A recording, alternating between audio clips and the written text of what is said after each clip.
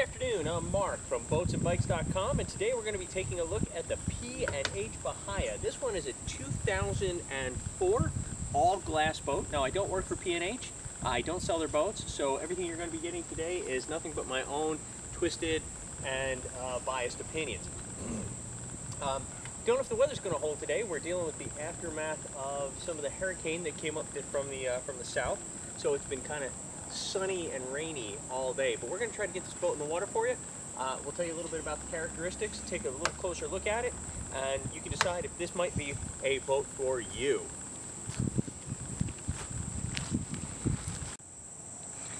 All right, so let's get a look at this boat a little bit closer up.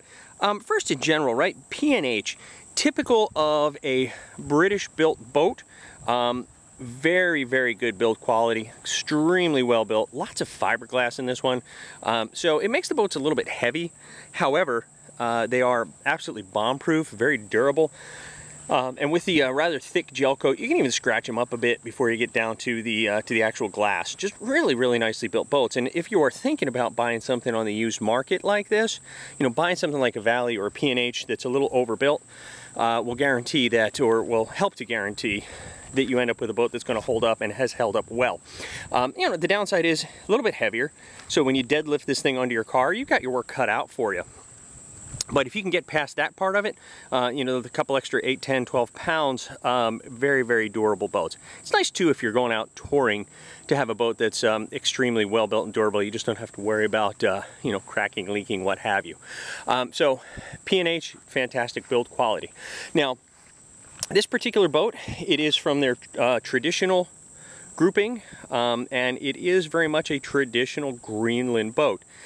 You can see the swept up bow, uh, the sharp point to the front, that um, hatchet entryway or that hatchet you know water entry um, makes it a fairly good rough water boat actually. Um, it is a hard chine boat uh, in true traditional fashion and like most Greenland boats let's get a side shot of this thing.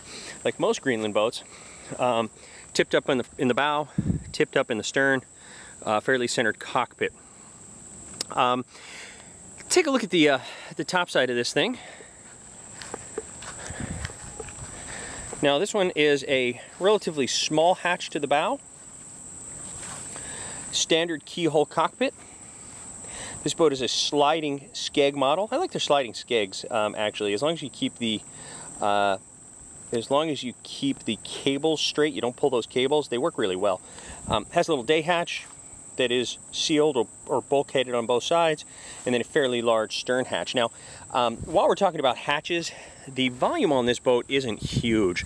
Um, the, uh, the way the chines tip up in the stern and also in the bow, right at the point where you would load it down with gear if you were touring, um, makes it you know relatively small. There's just you know it's not a huge area to load on this boat.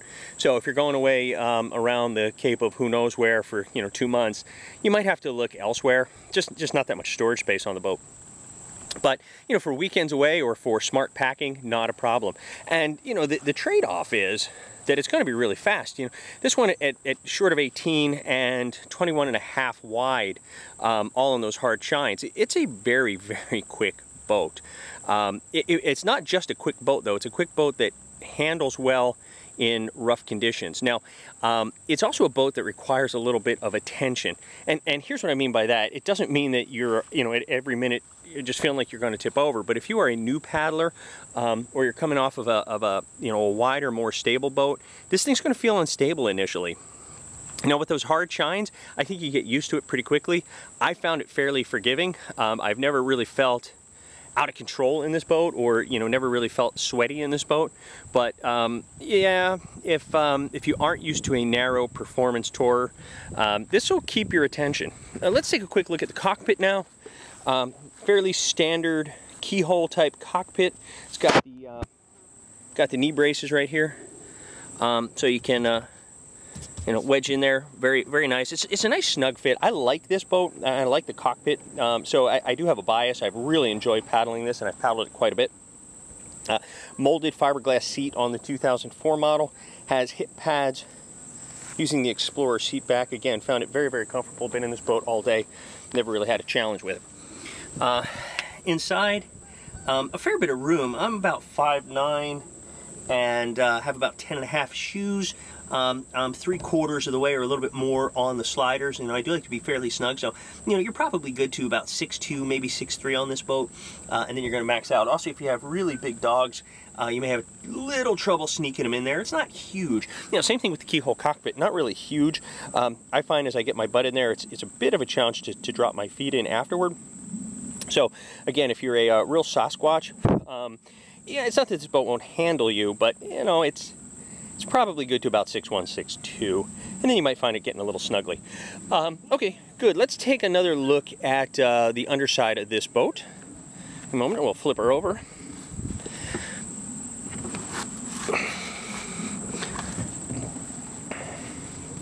See if we can get a shot of these chines here. So, uh, again, really sharp entry, very pronounced chine. Uh, long stern keel molded in, and there you can see the skeg, which I have not uh, have not deployed. Um, so what you get here is a boat that really, really likes to go straight, especially when you drop that skeg. I mean, this is a definitely a point and shoot boat.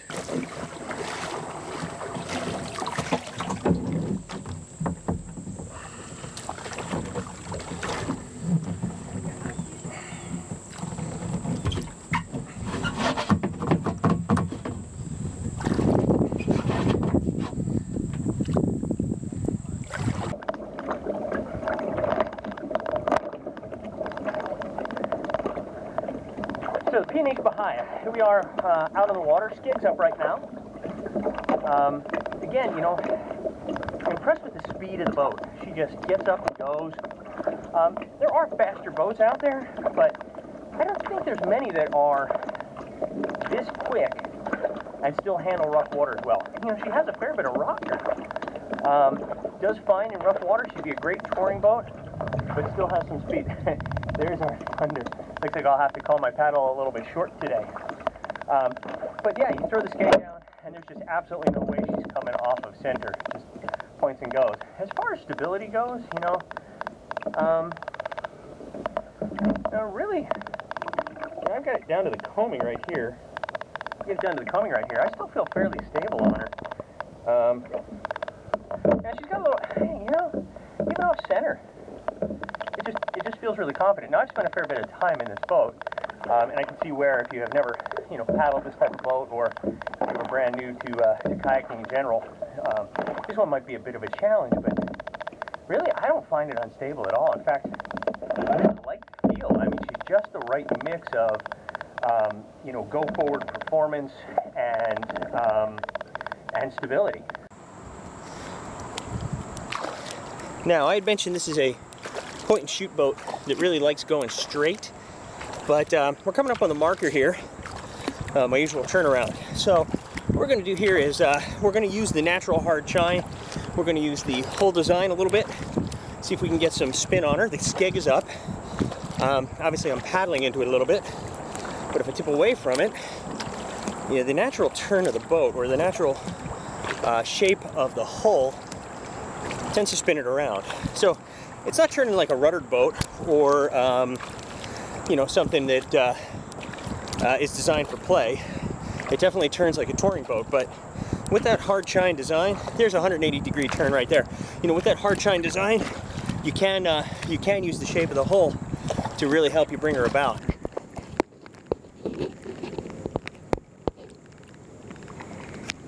When we're talking about things like wind and we're talking about things like current, um, you know, with wind, it, it's not too bad, especially you drop that skeg, and, and, again, it just it just heads forward, but it does like to get pushed around a little bit, um, a little bit in the stern. It's you know it's fairly low volume uh, in the stern. It's a fairly low stern, a little bit higher bow. It does get pushed around a little bit from the stern, uh, a little bit of weather cocking. Yeah, P&H just got it right. Uh, they have the perfect mix of traditional design. They took the very best of traditional design, used modern materials and some uh, modern know-how and really came up with a winner, the P&H Bahiya. Flippin' love this one. Mark from boatsandbikes.com.